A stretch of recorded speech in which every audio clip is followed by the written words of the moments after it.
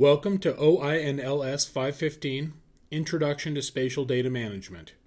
where this week we will be providing an introduction to raster data and also covering some other geospatial data concepts.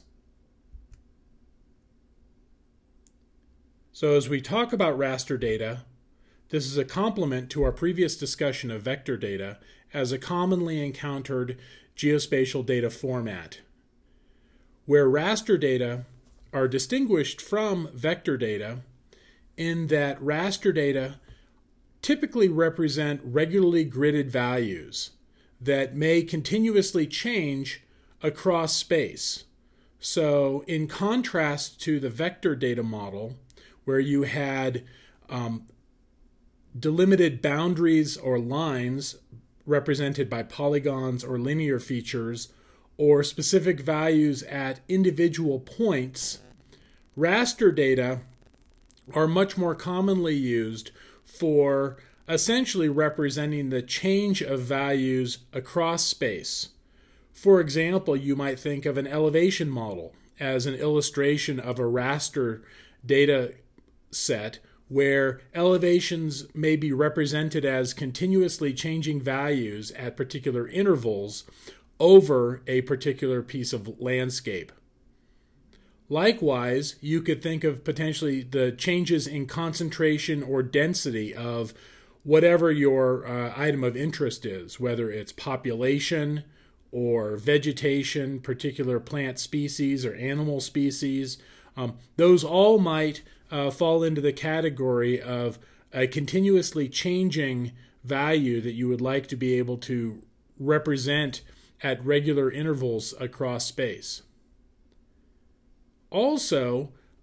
raster data are often used to represent reflectance, or uh, in the case of imagery, essentially the amount of energy that is reflected back to a sensor, where then that reflected energy can be converted into some sort of scale and then used to provide information about the surface that that energy is being reflected from. You could think of it very simply, even in the case of digital photography that you might have experience in, where you have essentially a photo sensor in a camera that is measuring the reflectance of three different wavelengths of light energy, typically red, green, and blue. So, as you take a digital photograph, you are actually measuring the reflectance of energy from the subject of your photo on the sensor inside the camera, where then that reflectance is written into a grid of values for each of those bands. And any given raster data set may consist of single or multiple bands representing a particular value at each pixel or location within that raster data set. You can see on this slide an illustration of three bands, red, green, and blue, in this case represented by three grayscale images, where high values of reflectance are brighter in those each of those images lower reflectance values are darker pixels in those images and when they are combined into a composite image you get a color image something that we're more accustomed to looking at whether it's in aerial photography or in some uh, products derived from satellite imagery that are designed to uh, provide a more natural or true color representation. The bottom line is that your raster data are best used in any of those situations where you have continuously varying data uh, uh, through space that you want to essentially represent in some way um, that really does not fit into the sharp boundaries that are aligned with the vector data model.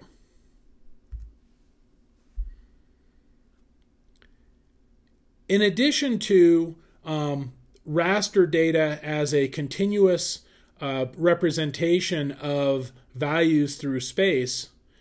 just as we discussed for vector data previously, that you can transform a variety of data into vector data, you can also derive uh, vector data or other representations of data from raster data. So in this case, we have an illustration of deriving some data from an elevation model for the um, Albuquerque East topographic map. So the image we see here represents elevation values for this area over the city of Albuquerque. And within a number of geospatial tools, you can mathematically derive, in this case, a set of contour lines that approximate the lines of equal elevation as they're derived from that digital elevation model. If you've ever worked with topographic maps, you may be familiar with these types of contour lines that may be used to help visualize changing in the changes in the shape of the map, the terrain, um, as a complement to other ways of representing elevation, which we might have here in terms of this color change. You can envision um, other uses of this sort of contour um, mapping capability where you might have another um, measurement, say population density or density of particular plant or animal species in the landscape, where you might want to develop a quantitative map that shows not just that sort of continuous change through time, but where you also can complement that with the contour lines that represent sort of areas of constant value within that as an additional reference for visualizing those data. Another product that you will see in some cases, especially when uh, working with elevation data, are uh, hillshade products that can be calculated from an elevation model, where those hillshade products can um, help to highlight areas of um, of changing values in the terrain, essentially allowing you to use your visual uh, system to be able to recognize either texture, as you can see in this image, where you can actually make out the uh, the streets and neighborhoods, and certainly the edges of the arroyo in the southern half of the image. Um, based on the texture of the hillshade that's been generated. Very often, though, hillshades are actually combined with other data to actually enhance the visual interpretation. You see this in many um, mapping applications or map products where a hillshade has been um, overlaid on top of other data to help emphasize the changing changes in the terrain and in some cases the texture of the landscape which you can see here where even with the slight the combination of that um, hillshade model with the uh, that original color um, coding of the elevation model, you start you start to be able to see the areas of town uh, the city of Albuquerque, where you can still make out that sort of rough texture provided by the neighborhoods and the streets separating the neighborhoods and the edges of the arroyo, while they were uh, represented by changes in color in the original image, definitely do stand out a little bit more clearly when you overlay that hillshade on top. So, this is another example of how you can drive um, data from a raster data set um, to create or enhance your cartographic or analytic use of raster data.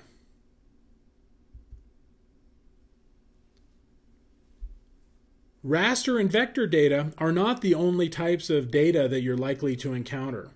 And one that we're going to work with quite a bit in the coming weeks um, relates to geodatabases, or essentially geospatially enabled databases, where in addition to some of the more standard data types that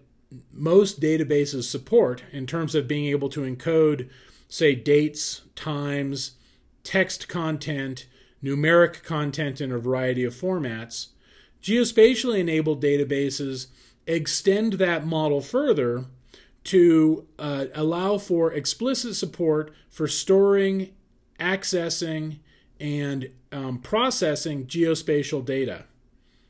So, depending upon the particular geodatabase that you're working on, they may contain um, data types within the database representing vector data. That's actually the most common um, data type that you'll find in geospatially enabled databases. Um, raster data, um, many geodatabases now also support raster data, while there are some arguments pro and con on the um, utility of storing raster data within the database or outside of the database in terms of performance and portability. And we'll talk about that a little bit in the coming weeks. Um, and also tabular data that may contain geospatial references or geospatial information that you otherwise need to potentially process further to um, be able to map or, pro- or analyze those data in a geospatial context. Finally, geodatabases will often go beyond the mere storage of geospatial data, but in most cases, they also implement specialized functions within the database that allow you to use the native language of the database, often structured query language or SQL, to actually perform spatial uh, functions inside the database, whether it's a matter of calculating buffers around points that may be stored in the database, or selecting features or records from a, a table that contains uh, geospatial data based on location, um, or also processing and transformation of data to derive new geospatial data products, all within the database itself. This is an incredibly powerful tool for being able to, in some instances, essentially use a geospatial, geospatial database or geodatabase as a basic geographic information system as some core data management and transformation functions are actually native to the database itself.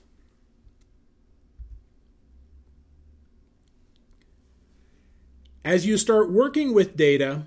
in a variety of systems, whether they are raster data or vector data, whether they're stored in freestanding files or within geospatial databases, the core concept of geographic coordinates is key to the consistent understanding and use of geospatial data. When we're talking about geospatial coordinates, we're talking about one aspect of it where we have a fundamental challenge of flattening the Earth, which is a an oblate spheroid, if you want to uh, be precise about it, meaning that it is actually not a perfect sphere, but it's actually somewhat flattened, where it's a little bit um, wider at the at the at the equator than if you were to uh, measure it from pole to pole. So it's actually slightly flattened, and there are mathematical models that describe exactly what the shape of the Earth is. But even if we think about it in terms of, of a perfect sphere, the challenge that we have is that analytically and visually, we're often wanting to work with geographic locations not in a spherical coordinate system, but instead in a flattened Cartesian coordinate system with xy values. As soon as we think about doing that, we're confronted with an infinite variety of ways to essentially take the skin of our planet and flatten it in different ways where the our methods for choosing that are highly dependent upon what our goals are. So as we think about our planet and our interest in being able to do mapping or analysis based on features on the surface of our planet, we need to be thinking about all the options that we have available to us. And in this case, those options really are infinite. And we have to start instead thinking about what our goals are for our particular representation of features on the surface of the planet. Or as you're getting into geologic and other mapping, perhaps even features uh, below the surface of the planet. Here we're going to be concentrating primarily on the Earth's surface. Um, thanks to XKCD, we have um, actually a useful visualization of some of the myriad options you have for uh, representing features on the planet. So here we have um, a whole uh, list of different uh, map projections that um, the author of XKCD has made some editorial comments about. The bottom line is that as we look through these, each one has been developed to meet a particular need. And where that need is defined by the you know, typically the person who is defining what um, what mathematical transformation should be used to map every point on the Earth's surface to a corresponding xy coordinate in a drawing of that Earth surface and you just get a sense of some of the diversity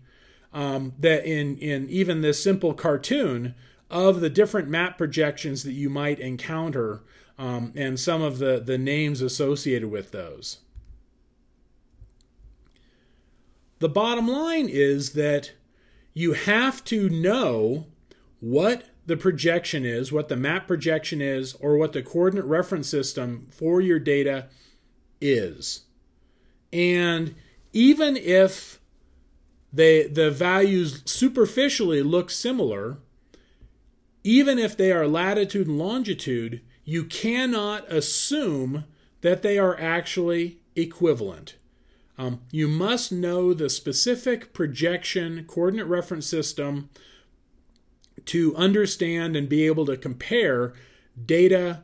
provided in different geospatial data sets. If you merely assume that coordinate reference systems are the same, you may very well find that your results are um, invalid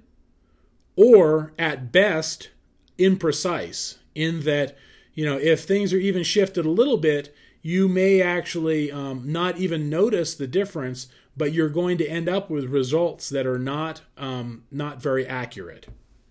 so you must, in all cases when working with geospatial data, define the, the coordinate reference system if they are data sets that you are creating, or know what the coordinate reference system is for data that you are using that have been provided by others.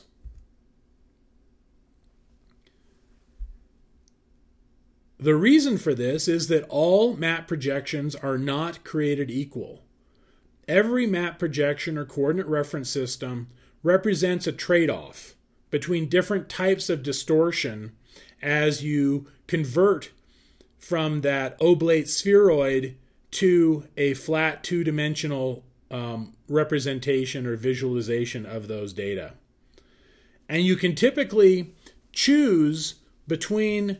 these broad categories of distortion or minimized distortion.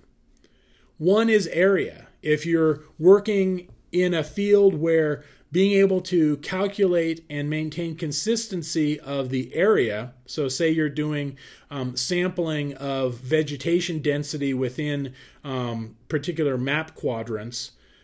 having those map quadrants equal in area to each other may be key to your calculation of plant or, or other species density within those areas. So you may very well, in that case, want to be working in a map projection that has defined to maintain um, equal areas in different parts of the map that you're working in. Um, you may be working in a discipline or area where direction and shape are the uh, the key components of your map where you want to make sure that first and foremost direction and shape are maintained um, where distortion of those are minimized. You could think of it in terms of perhaps navigation. So whether it's aerial navigation or um, or uh, or uh, ship navigation, where you want to be able to have a clear correspondence between the direction that you might measure with your compass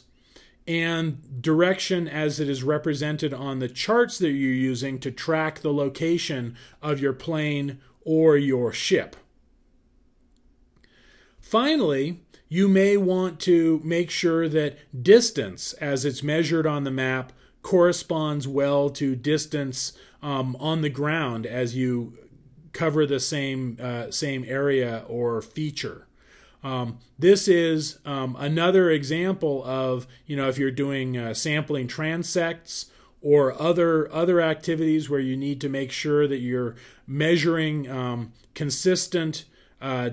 counts along a particular uh, length of a sampling transect or if you're trying to measure uh, propagation of signals say you're you might be working in seismic applications where you want to be able to make sure that the distance calculations you're using for the propagation of um, a seismic signal is correct. Um, in those cases you may want to work in a map projection that maintains um, very little distortion in distance.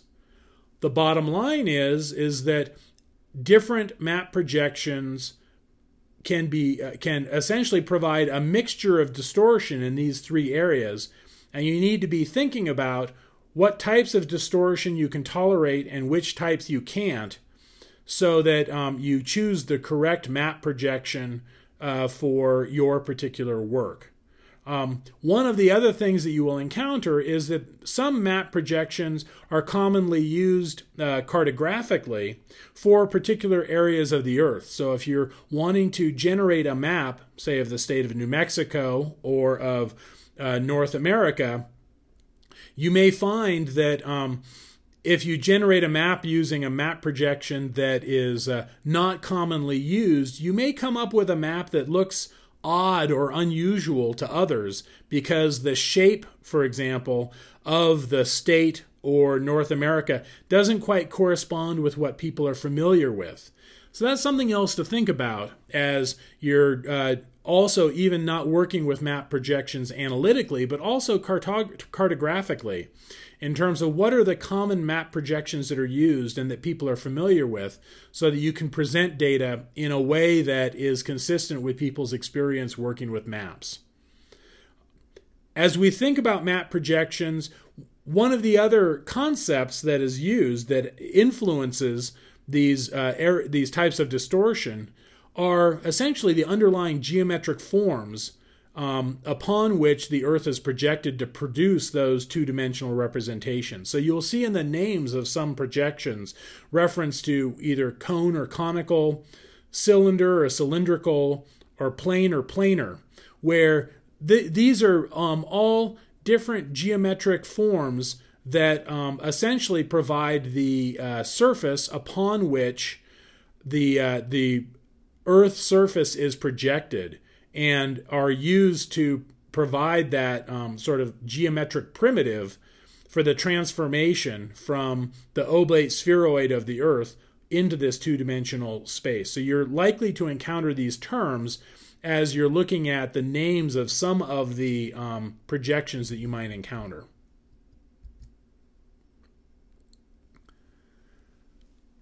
So, as we've seen, there are myriad potential map projections. Um, and the fortunate thing is that there are a number of systems that have been developed for being able to communicate efficiently the definitions of those uh, myriad coordinate reference systems or map projections. One of the most common are EPSG codes, where EPSG was a, a European Petroleum Standards Group that developed numeric codes for many map projections, where many geographic information systems and other tools use EPSG codes as a shorthand for referring to the definitions of those projections, essentially the mathematical transformations um, from a uh, spherical coordinate system into a projected coordinate system. If you're working in the ESRI GIS world or exchanging data with people working in that, you may encounter the ESRI well known text or WKT format, um, either within the interface or as a part of the documentation for a particular data set. Or you may find that in some cases, for example, for ESRI shapefiles, a vector data file format that we'll talk about in just a minute, um, there is an associated .prj file that contains that ESRI well-known text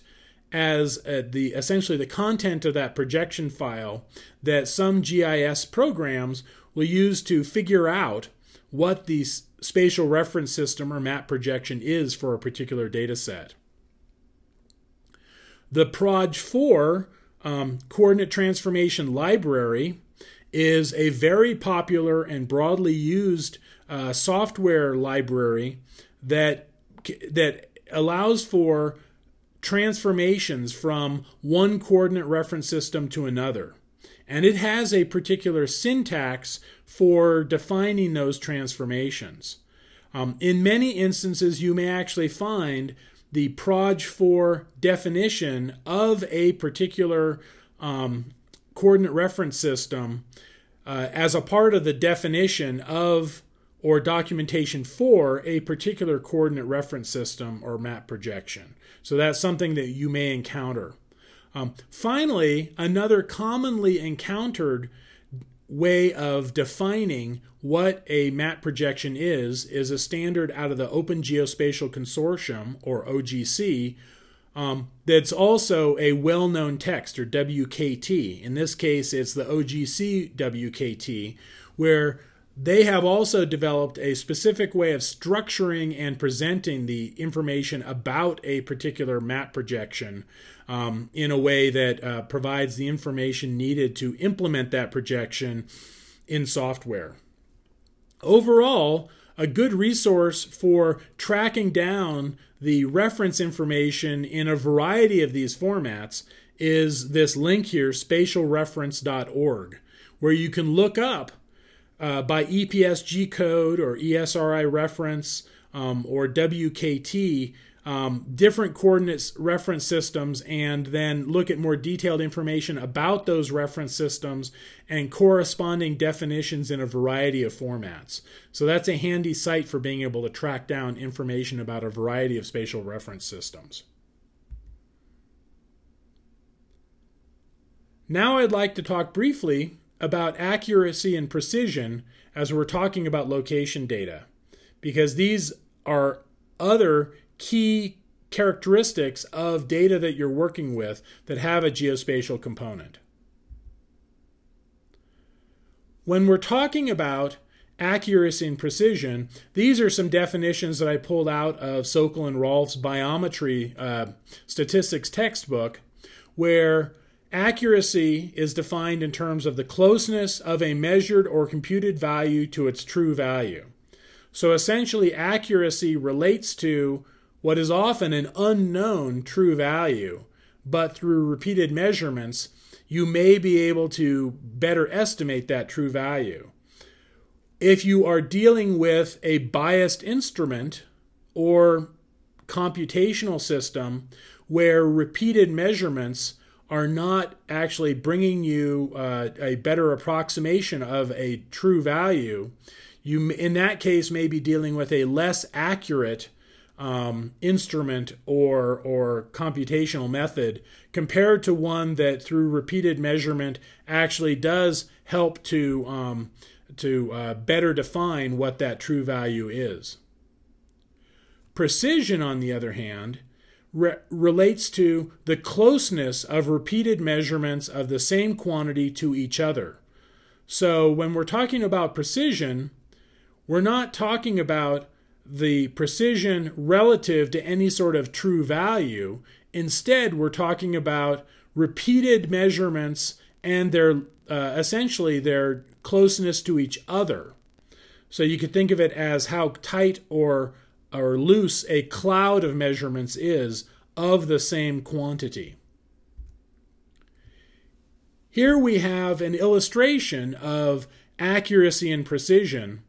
where we have a hypothetical true x and true y true uh, y value represented by the vertical and horizontal lines respectively. In the first case, number 1, represented by all the black dots, you can see that we have a set of repeated measurements where the cloud that cloud of measurements does appear to be relatively well centered over the intersection of that true x and true y value. So in this case, you might be able to um, think about the measurements in case one as being relatively accurate, in that these repeated measurements seem to be, um, when taken as a whole, uh, they seem to be clustering around this hypothetical true x and true y value. When we consider the situation for number two, where we have a similar set of repeated measurements, here represented by the red dots, it looks like they may be distributed in about the same way. So, in that respect, they may have about the same precision as number one, in that the size of the cloud of observations doesn't look terribly different from what we saw in one. But it may be less accurate in that that cloud of measurements does not appear to be um, centered as nicely over this hypothetical true x and true y value. So in this case, number two may be um, equally precise with number one, but it may actually be less accurate in that those measurements actually do not correspond as well with the true x and true y values. Finally, if we look at number three, represented by the cloud of blue dots, you can see here that the cluster of observations is actually much tighter, suggesting that we may actually have a higher degree of precision in the measurements, in that they are more tightly related to each other. But we may have, um, again, in comparison to number one, a less accurate measurement or set of measurements in that they also do not seem to correspond with the true x and true y value that we have for this theoretical example. This is an illustration of these different concepts of accuracy and precision as you would think about it in terms of, say, the xy coordinates that you would use in a geospatial data collection. So, how does this relate to spatial data? You know, when we're talking about location, location is estimated using a wide variety of methods, each of which has its own known or unknown accuracy and precision. And just some examples of those include uh, geocoding, as we uh, discussed previously, as a way to estimate geographic coordinates from street addresses, where the accuracy and precision of the underlying database uh, from which those coordinates are estimated can have a significant influence on the accuracy and precision of the coordinates that are that come out of that. Um, satellite or aerial imagery um, may have a uh, measured uh, error in terms of the location of the individual pixels and the features that you may be uh, viewing in that imagery that is represented by those pixels. In some cases, if you're doing mapping on the ground using total stations or laser rangefinders, those may also have particular, particular known accuracy and precision, but if they're not used properly or calibrated properly, you may actually have additional bias um, that is affecting um, the uh, accuracy of the measurements, or also um, if they're not maintained properly, the precision of those instruments may be degraded if they're again they're not properly maintained, or if they're used outside of the specifications for uh, say measurements over distance or over different types of terrain. um, and global positioning systems, which also are dependent upon a constellation of satellites that as that constellation changes, as essentially the configuration of the satellites changes, the uh, accuracy and precision of repeated measurements using a GPS may also change. So, keeping that in mind, in terms of the specific data that you're getting out of a GPS, needing to keep the keep in mind that the changes in that accuracy and precision is key. When we talk about sources of bias, really in this case um, uh, relating to the accuracy, um, you there are many many ways to introduce systematic errors into um, your systems um, where in some cases it may be a matter of choice in some cases it may be um, an error in in what is, in how the data are being collected. As one example the choice of an incorrect datum for a horizontal or vertical reference could introduce a bias um, we've already talked a little bit about miscalibration of instruments. Um, if we uh, think about, you know, uh, miscalculation of the control point that might be the origin that's used for other map points, if that control point is not accurately located, that, then it can shift every all of your other measurements based upon it um, to incorrect locations. Um, a, a damaged instrument like a stretched measuring tape can introduce bias to your um, your your data. Um,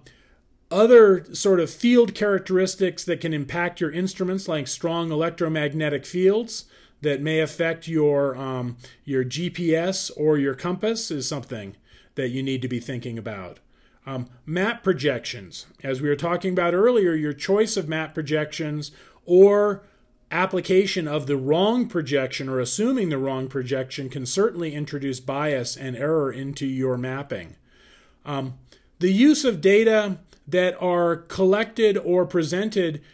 um, outside of the range of map scales for which they are appropriate um, is another area, and we'll see an illustration of that in just a moment here. These are only a few examples of the many ways in which you can introduce bias into location that you represent in your data. But you know, for that matter, you you need to be thinking about bias, accuracy, and precision in the context of any of the data that you're working with, because those have significant impacts on your ability to use those data to answer the research questions you're asking.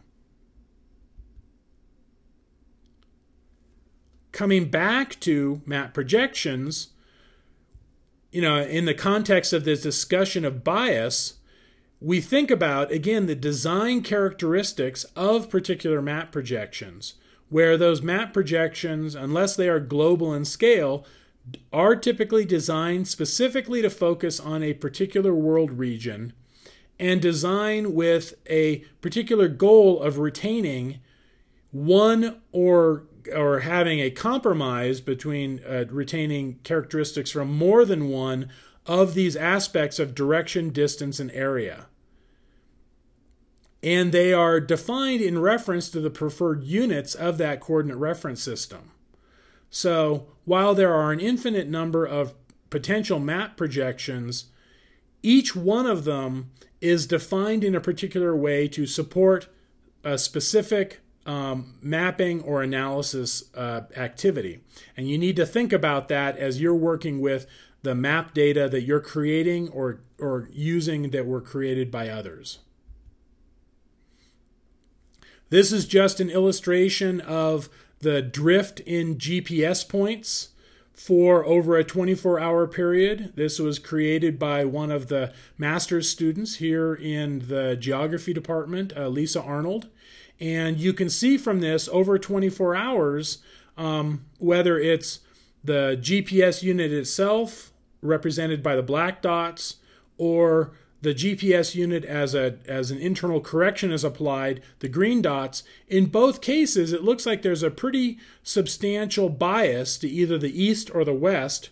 as these coordinates drift over a 24 hour uh, period for a fixed point. So this is a GPS unit that is at a known fixed point,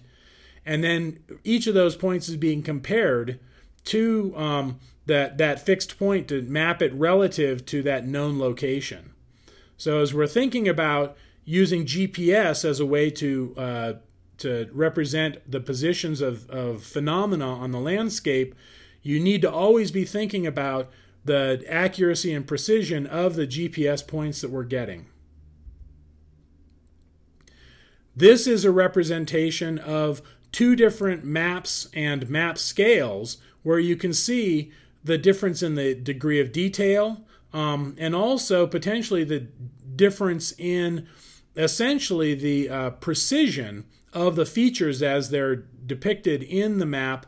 as they were essentially defined at different target map scales. On the left, we have a map scale of 1 to 250,000, where essentially one unit on the map represents 250,000 units in space. So that would be 1 inch equals 250,000 inches, 1 mile equals 250,000 miles, etc.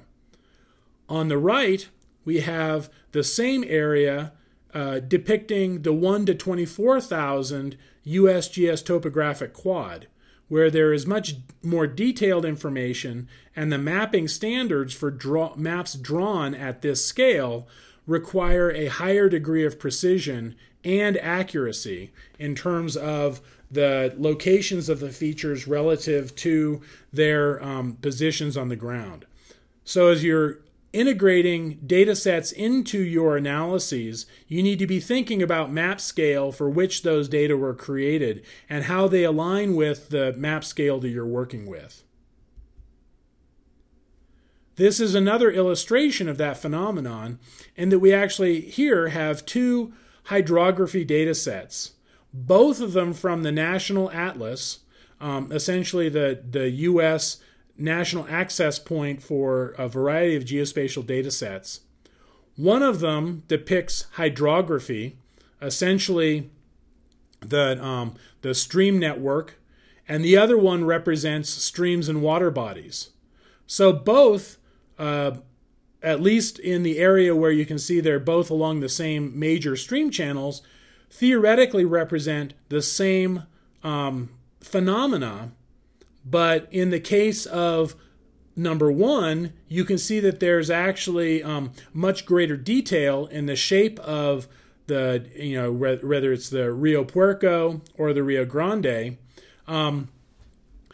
compared to number two, where the the uh, essentially the river courses are much more sort of linear and have been straightened out quite a bit, obviously uh, reflecting the intention for those to not be used at this at this particular map scale, but instead being intended to be displayed at a much um, much uh, smaller map scale, say at the regional or state level, where these deviations from the more detailed configuration of these rivers would not have a significant impact, at least visually in the map. So, this is another illustration of the different map scales that would or would not be appropriate for use in a particular application. Finally, let's talk a little bit about data formats and tools. As we've discussed now, a variety of data types, whether it's tabular data that you might use to feed into the creation of vector data or raster data, um, some things that you're likely to notice is that there are some common formats that you're going to encounter. So when dealing with tabular data, you're likely to encounter comma separated value data. So that's essentially an ASCII text file where the values are uh, separated from each other by commas in a line of text. Um, in some cases, you may encounter tab delimited files, which are a similar structure but with tabs separating the values.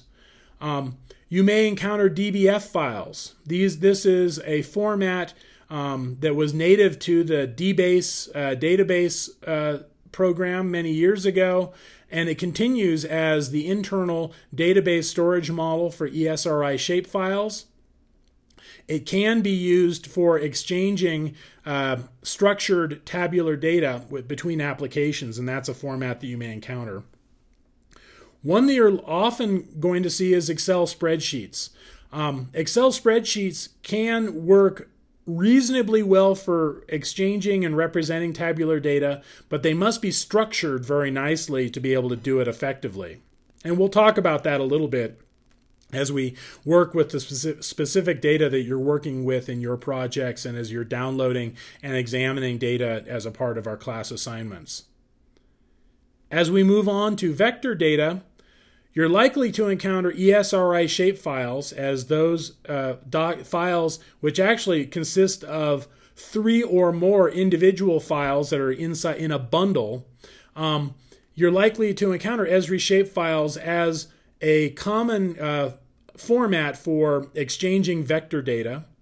Uh, more recently, the um, KML file format, formerly known as Keyhole Markup Language, but now it's just KML as it's been adopted as an Open Geospatial Consortium standard, provides a way of exchanging um, both uh, the geometry information, associated attributes, and information about how those features should be represented in a single file. There are some strengths and weaknesses to the KML file format in terms of being able to uh, attach attributes to those features, but it's an increasingly used format, especially for visualization.